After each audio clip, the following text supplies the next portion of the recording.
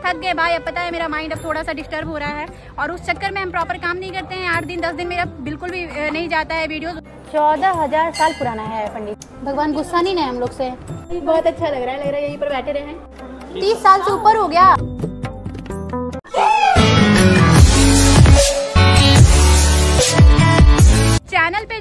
जो मेरे 16000 17000 फॉलोअर है ना, उनको अब हम प्राउड फील करवाएँगे क्योंकि जब से हम थोड़ा बहुत वायरल हुए, जब से मेरा ऐसा हुआ कि भाई काम अच्छा चलने लगा, तब से हमको कुछ अच्छा कंटेंट देना चाहिए था। तो हम क्या किए? पटना में ही घूम रहे हैं एग्जीबिशन दिखा रहे हैं, मेला दिखा रहे हैं। थक गए भाई, अब पता है मेरा माइंड अब थोड़ा सा डिस्टर्ब हो रहा है। और उस चक्कर में हम प्रॉपर काम नहीं करते हैं। आठ दिन, दस दिन मेरा बिल्कुल भी नहीं जाता है वीडियोज़ उस वजह से मेरा चैनल हो गया है फ्रीज तो हेलो नमस्कार, मैं सुकृति पांडे और मेरे चैनल सुकृति पांडे पे आप सभी लोगों का हार्दिक हार्दिक स्वागत है। हाँ जी तो हम लोग आ चुके हैं पटना से बाहर, यानी कि सोनपुर आ चुके हैं, ठीक है? और यहाँ पर हमारा हरिहर धाम मंदिर के बारे में आप लोग जानते होंगे, काफ़ी प्राचीन मंदिर है। यहाँ पर आपको एक ही शिवालय में ना शिव जी मतलब भोलेनाथ की शिवलिंग और साथ ही साथ आपको विष्णु भगवान भी देखने को मिल जाएँगे और ये विश्व का बहुत प्रसिद्ध एकमात्र प्रसिद्ध हाँ एकमात्र प्रसिद्ध चौदह हज़ार साल पुराना। चौदह हज़ार साल पुराना मंदिर है ये ठीक है। तो हम लोग आ चुके हैं ये मेरी फ्रेंड मोनिका है इसको तो आप लोग जानते ही होंगे। और ये आयान एडिटेड बाय आयान मेरी वीडियोस पे आप लोग पिछले आठ दस महीने से देख रहे होंगे। तो ये बोला कि चलो ना हम भी चलेंगे मेरी भी मेरे भी चैनल के लिए हो जाएगा हम भी वीडियोस वगैरह बना लेंगे। हाँ।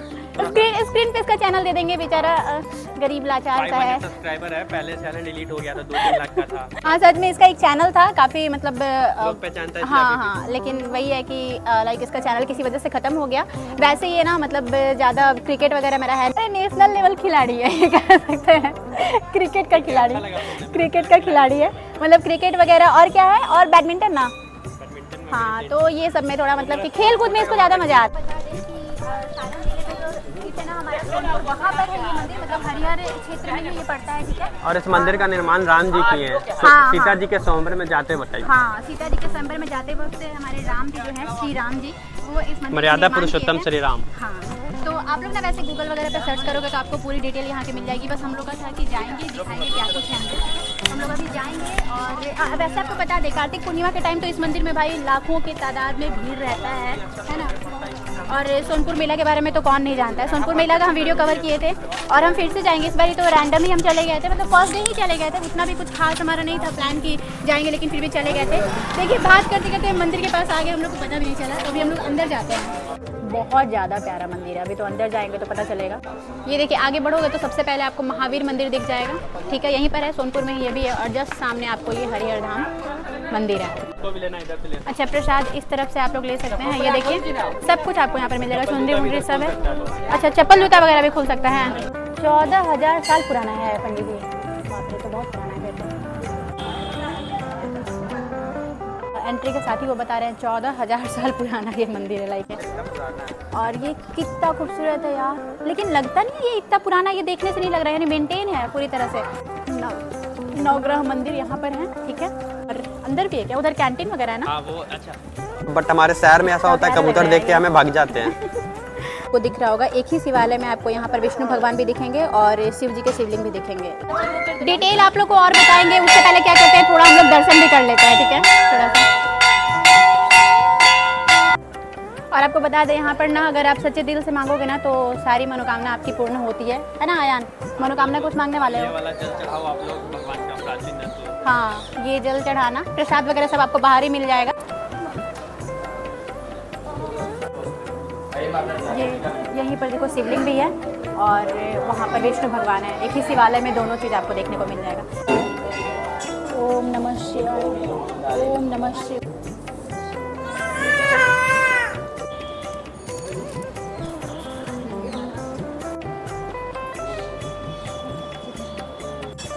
ये हम लोग का ना सिंदूर का पैकेट नीचे गिर गया था तो ये बोलती है एक बच्चा लेकर चला गया। झूठा इल्ज़ाम लगाती है। वो ये सब लेके जा रहा था हाँ ये लेके जा रहा था वो तो रोके हैं। इसका हम लोग को नहीं पता अभी नए नए आए हैं तो। तितक तितक तितक दही जमा लो। कहाँ जा रहे हैं हम लोग? काम की लड़की हम लोग लेकर आए नहीं? चलाती हुई युविकता। युतिका। युतिका?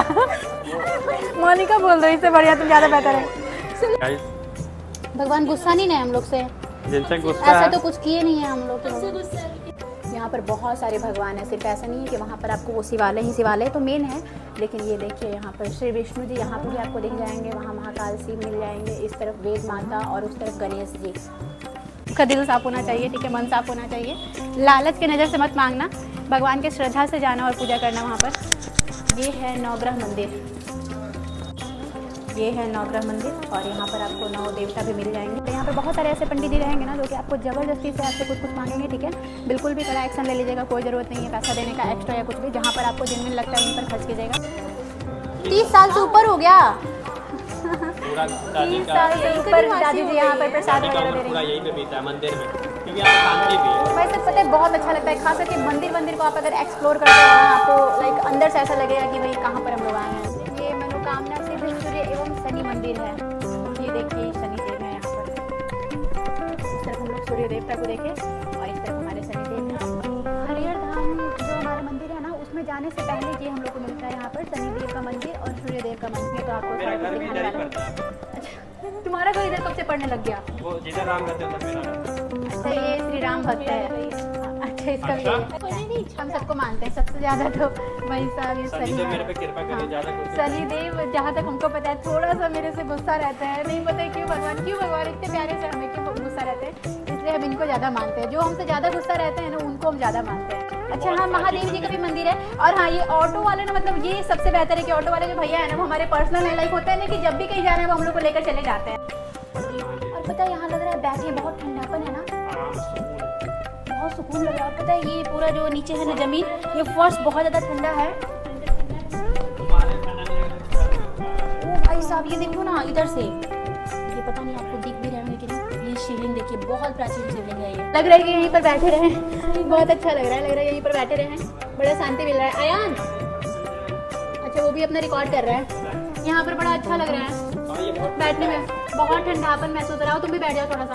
महादेव ठंडे इसलिए दुनिया बचा हाँ। कलयुग आ चुका है ना। हाँ जितना जितना अभी मतलब अपराध बढ़ता चला जा रहा है जिस दिन महादेव गर्म हो गया ना उस दिन सब फटेगा सब जाएगा गंदे से ठीक है? तो जहाँ तक हमको पता चला सत्रह सौ संतावन के पहले ये मंदिर बना है। मतलब थोड़ा बहुत पहले या उसी समय रख लो लेकिन ऐसा नहीं है कि हम बहुत ज़्यादा वो हैं शार्पनेस मेरा माइंड है कि हम सब कुछ क्लियर बता सकते हैं। थोड़ा बहुत अगर कुछ गलती होगा ना तो आप लोग माफ़ कीजिएगा प्लीज़ और हाँ करेक्ट कीजिएगा मेरे कॉमेंट सेक्शन में कि क्या क्या गलती हो रही है से हज़ार या चौदह सौ? तो आप लोग कभी यहाँ पर दर्शन करने के लिए आने वाले हो कमेंट सेक्शन में बताना और ज़रूर आना ठीक है? तो वीडियो अगर अच्छी लगी तो लाइक कीजिएगा शेयर कीजिएगा को सब्सक्राइब कीजिएगा अपना ख्याल रखिएगा अपने परिवार वालों का ख्याल रखिएगा। तो लोग सब गायब ही रहता है। एक बार बोल दो ना। हर हर महादेव।